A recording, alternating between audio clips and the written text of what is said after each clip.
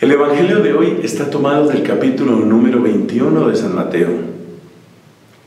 Nos presenta una parábola, una parábola que muestra el riesgo de quedarse en los bienes presentes, absolutizar los bienes presentes hasta el punto de romper la relación, dañar el puente, quitar el camino que nos une con el que nos ha dado todo.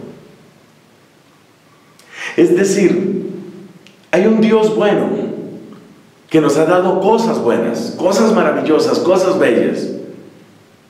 Eso llamamos la creación.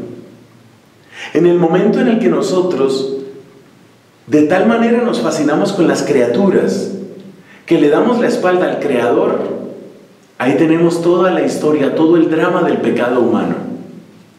De hecho, esa es la definición que nos ofrece San Agustín sobre lo que es el pecado.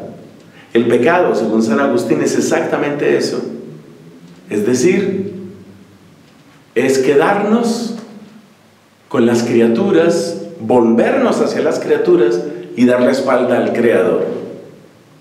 Eso fue lo que sucedió a estos labradores de la viña, fascinados por la riqueza del lugar, por la abundancia de la cosecha, por lo delicioso del fruto obtenido, no quieren pagar.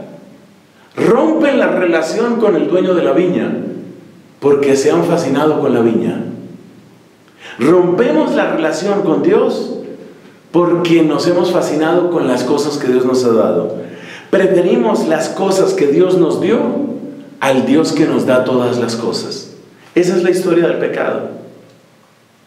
Y lo segundo que nos muestra esta parábola es que cuando nosotros hacemos esa operación, es decir, cuando nos fascinamos de tal manera con las cosas creadas, que llegamos a darle la espalda al Dios creador, entonces terminamos rechazando la máxima oferta, el máximo regalo, la máxima muestra de amor que es su Hijo, porque tanto amó Dios al mundo que le dio su propio Hijo.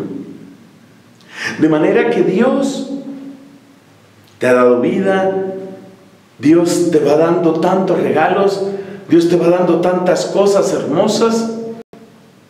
Si tú te fascinas con lo que Dios te ha dado hasta ahora y rompe la relación con Él, te pierdes de lo que Él te quería seguir dando. Y lo que Él te quería seguir dando tiene un nombre, el don que se llama Jesucristo el don de Cristo en tu vida, porque tanto amó Dios al mundo. Y si te fascinas demasiado con las cosas y por fascinarte con lo recibido, absolutizas lo recibido, entonces, entonces resulta que te pierdes del regalo, del gran don del Espíritu Santo. Porque es que resulta que el Dios que te ha dado las cosas, el Dios que te ha dado la vida, el Dios que te ha dado la creación, finalmente quiere darse a sí mismo, dándonos a su Hijo, dándonos el Espíritu. Si rompes la relación con ese Dios que te ha dado cosas, te pierdes de recibirlo a Él mismo, a Él mismo. Ese parece ser el sentido profundo de esta parábola. O sea que el mensaje es muy sencillo.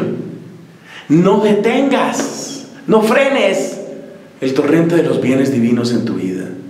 Dios todavía tiene mucho más para darte. Pero si tú absolutizas lo recibido y te apartas de Él y le desobedeces, te pierdes de lo que sigue. ¿Y sabes qué era lo que seguía?